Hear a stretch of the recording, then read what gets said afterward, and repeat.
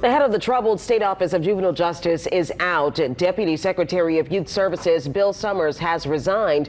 Now, under his watch, there have been riots and escapes at the Bridge City Center for Youth on the West Bank and at other facilities in the OJJ system.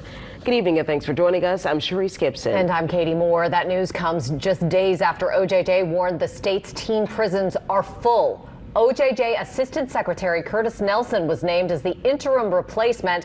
And in response to the news, the head of Families and Friends of Louisiana's incarcerated children issued a statement saying, quote, this is an opportunity for the state to shift its approach from a punitive system towards its overdue promise of a therapeutic model. And that shift starts with its leadership. Well, this is all happening amid a seeming surge in youth violence. Now, we have followed juvenile crime closely across our area, but what can be done about it? As the court system is pushing for funding. A local hospital will now add its own program to help young offenders. And Meg Farris is joining us now in the studio with the details on that. Meg, what's it all about? And nearly 70%, Katie and Charisse, of offenders can't read. But now doctors say there's another issue that is common among them.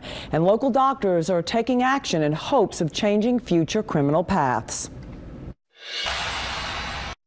There's no capacity in non-secure or secure placement. So again, uh, these programs that are run through the court and come through the court uh, become very important. With the state's juvenile lockups at full capacity, this week in city budget talks, Orleans Parish juvenile court judges told city leaders about funding programs that provide alternatives to detention. And that program through GROW, we have a 98% rate of young women who do not reoffend while in the program.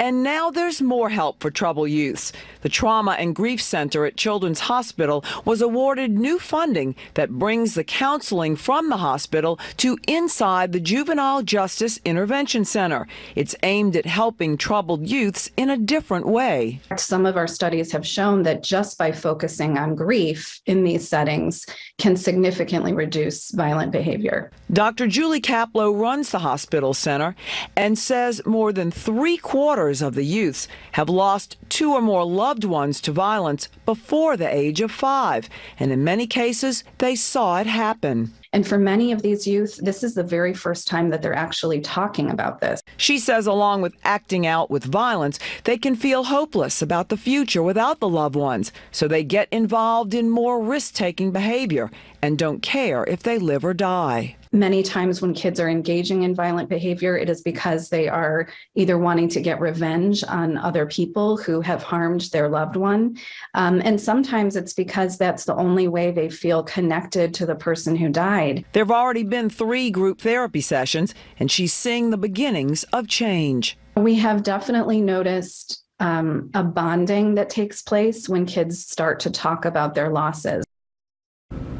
Now, the Trauma and Grief Center at Children's Hospital also treats anyone from birth to 21 at the hospital. And the doctor says it's especially important with the holidays coming to let children talk and ask questions if are they sad from loss. But if they can't eat, sleep, and are engaging in risky or harmful behavior, it's time to talk to a professional. All right, thank you, Meg.